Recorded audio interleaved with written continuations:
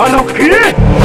तो आप आए हैं अकाउंटेंट की इंटरव्यू के लिए। अकाउंटेंसी तो मैं किसी को भी समझा सकती हूँ। जैसे हज़ार का नोट दादा दादी की तरह घर का सबसे बड़ा अच्छा। सबसे काम के सौ पाँच सौ के नोट जिनसे घर से चलता है। और ये सिक्के जिनकी खनक घर के बच्चों की शोर जैसी होती है। अनोखी के इस अंदाज पे हो रहा है विदा कोई।